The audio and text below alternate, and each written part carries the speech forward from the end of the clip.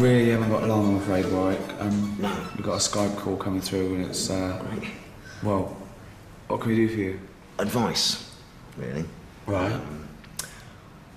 I'm a bit worried about my wife and her lawyer. I think there might be something going on between them. What, the lawyer who's representing your wife while she sues you for divorce? Yeah, that's the one. Which is my point. I don't know why you care anymore. well, okay. Slippers. In what way? Oh. Hi, Steve. Hello. How's it going, man? Um, thanks for doing this. Uh, you obviously got my email um, about the guest appearances. I'm not just saying this because I've got a financial stake in the show. Uh, I I really think it'd be good for your career to do the occasional guest appearance in the office. Yeah, obviously, you still, you know, still do your films and everything as well. Of course. But you know, if you did agree to even infrequent guest spots, the network said they would guarantee two more seasons, um, which is obviously incredibly lucrative. Uh, for everyone. Yeah, yeah. Um, you know what? Let me think about it. I will definitely consider it. cheers, man. Great. Brilliant. We're in LA um, Thursday. If you want to do dinner and have a chat, Oh yeah, that sounds great. I'd love to. brilliant. See you then. See ya. Okay, good. See you later. Bye. Bye. I must say,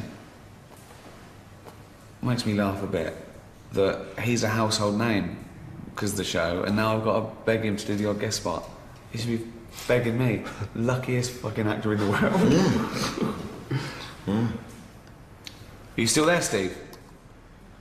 Yep. Sorry, man. I, I thought I'd uh, I thought I'd hung up. No.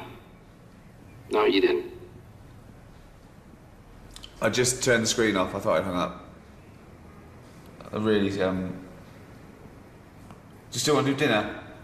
Mm, no. Be awkward, wouldn't it? Yeah, that would be. Are you going to think about the guest appearances? Ah, no. Dead in the water, that one. It is It's definitely dead. There's no way that's gonna happen. Okay, cheers. Bye then. Bye. Bye bye now.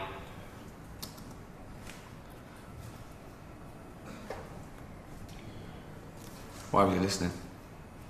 I'll tell you why he was listening. Because he's an actor. And like all actors, he's a little paranoid, insecure little fucker. Are you still listening, Steve? Oh, I am. I am still listening to you talking.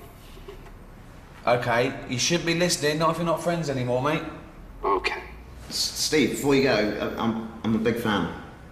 Hey, that's really nice. Thanks.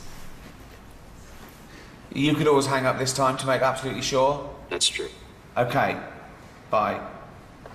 Right, he's gone. That's the Is it difference. Yeah, definitely, yeah, because I was pressing the wrong thing. Love Steve Carell. Do you? Terrific, yeah.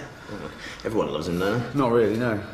Mm. Bit of I an do. idiotic thing to say. With six billion people on the planet, how are they all going to love one person? A lot of them do. I mean, look That's at the American version of The Office. Yeah, Every you look week, at it. What is it, 10 million viewers, I guess, Ten million people watching him. Tune in and see my name at the end of the They credits. watch it for him, though, don't they? Not really, no, because it wouldn't exist without me, and he wouldn't exist without it. Ipso facto, I don't know what you're talking about anymore. Well, all right. Well, he, he's got likability, then, as he's he's just a popular chap. You're more of an acquired taste. Not everyone's into everything you do. My accountant, right? Absolutely hated extras. Just thought it was a sitcom where famous people pop up as themselves.